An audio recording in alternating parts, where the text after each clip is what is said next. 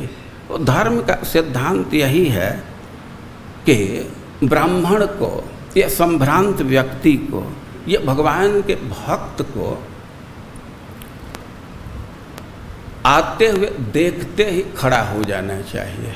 और ऐसा नहीं करेंगे तो दुख आना ही है, कोई संकट आना ही है और आपका पराजय निश्चित है। वे एक प्रश्न होगा कि इस साधारण व्यक्ति के लिए सिद्धांत लग सकता है, लेकिन जो खुद पूज्य हैं, बड़े व्यक्ति हैं तो उनको किसी के सम्मान करने की क्या ज़रूरत है? इस विषय में सिद्धांत समझना चाहिए कि जो बड़े लोग हैं, वे बड़े लोग का और सम्मान करते हैं, बल्कि छोटे छोटे लोग तो उस पर आक्षेप करते हैं या उसको कष्ट देने का प्रयास करते हैं। लेकिन जो बड़े लोग हैं, वो पूज्य व्यक्ति का बहुत सम्मान करते हैं। सिद्धांत दिया गया है कि मान्या ये वही मान्या न मानम कुरवंती नेतरे। अरे सच्चाई तो यह है कि जो बड़ा आदमी है, वही बड़े आदमी का सम्मान करता है। छोटा आदमी बल्कि नहीं सम्मान करता है।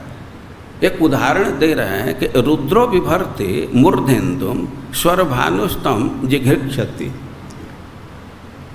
शिव जी को देव देव कहा जाता है। देवताओं में भी पूज्य हैं। लेकिन वे चंद्रमा को अपने मस्तक पर धारण करते हैं। चंद्रमा देवता हैं तो उनको मस्तक पर धारण करते हैं। बड़े आदमी चंद्रमा का सम्मान कर रहे हैं। लेकिन राहु जो क्षुद्र व्यक्ति, वो तो चंद्रमा को निगलना चाहता है।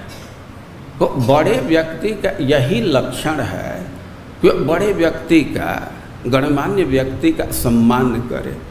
वो बड़े व्यक्ति का सम्मान करने से बड़ाई में कोई कमी नहीं आती, महिमा में कोई कमी नहीं आती है, बल्कि उसकी महिमा और बढ़ जाती है।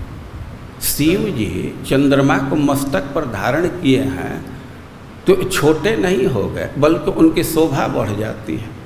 और इसलिए बड़े व्यक्ति का भी दायित्व है, उसका भी कर्तव्य है कि वे पूज्य व्यक्ति का सम्मान करे, आदरणीय व्यक्ति का सम्मान करे।